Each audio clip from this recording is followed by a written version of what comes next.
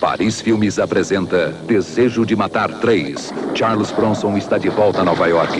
Ele é o único no mundo louco que poderá trazer justiça para as ruas. Charles Bronson, Desejo de Matar 3. Em um cinema perto de você. Dolby Stereo.